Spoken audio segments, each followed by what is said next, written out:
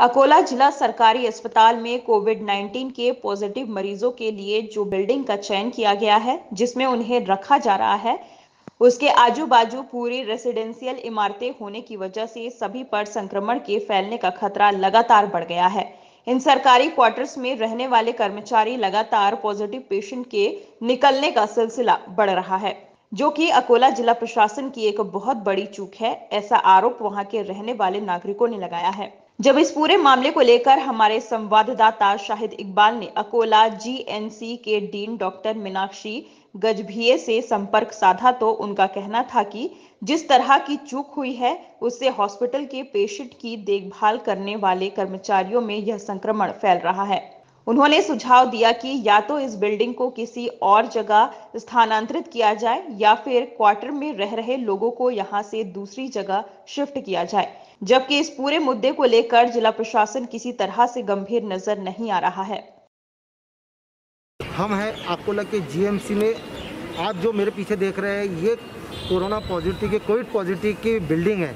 यहाँ पूरे पॉजिटिव पेशेंटों को रखा जा रहा है और इसी के साथ यहाँ पर इसी के सामने अभी हमने आपको बताया है, जो बिल्डिंग है वो रेसिडेंशियल बिल्डिंग है, यहाँ के जो कर्मचारी है, वो उनका क्वार्टर है।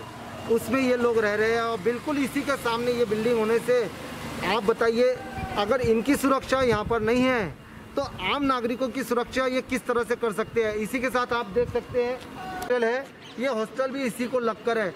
अगर ये इस तरह की यहाँ पर चूक कोविड 19 और रेसिडेंशियल को लेकर है और बिल्कुल उसके सामने ही ये सारी चीज़ें हो रही है। और आपको एक और बात बता दें, खास बात ये कि इसमें से तीन लोग अब तक, ये जो जीएमसी क्वार्टर है, जिसके अंदर से तीन लोग अभी तक पॉजिटिव आ चुके हैं। इसी के साथ यहाँ देख सकते हैं आप, ये जो नर्सिंग हॉस्टल है, इसमें से भी दो लोग पॉजिटिव यहाँ आ चुके हैं। तो या तो इस बिल्डिंग को यहाँ से हटाना चाहिए था, यहाँ नहीं होना चाहिए था और अगर ये बिल्डिंग कोविड पॉजिटिव की यहाँ है तो ये हॉस्टल और ये रेसिडेंशियल को यहाँ से दूर करना, ये बहुत ज़्यादा ज़रूरत थी। ये लापरवाही सरासर आकोला के प्रशासन, ज़िला प्रशासन की ओर से ये सबसे बड़ी खामी आकोला को लेकर है। और आप देख सकते हैं, यहाँ कोई एक बैरिकेडिंग भी यहाँ लगाई नहीं गई है। ये जो रास्ता है सीधा सीधा आना जाना सभी लोगों का यहाँ से चल रहा है। इसी को लेकर हम अभी आकोला के जो डीन है डॉक्टर मीनाक्षी गजबी इनसे इस बारे में चर्चा कर रहे हैं। भी पॉजिटिव वार्ड है। और मेन प्रॉब्लम ऐसा है कि ये जो बिल्डिंग है एकदम सेंटर में है। और इसके सामने रेसिडेंट हॉस्टल है। उसके राइट साइड में परिचर्या हॉस्टल है और लेफ़्ट में कर्मचारी निवास स्थान है।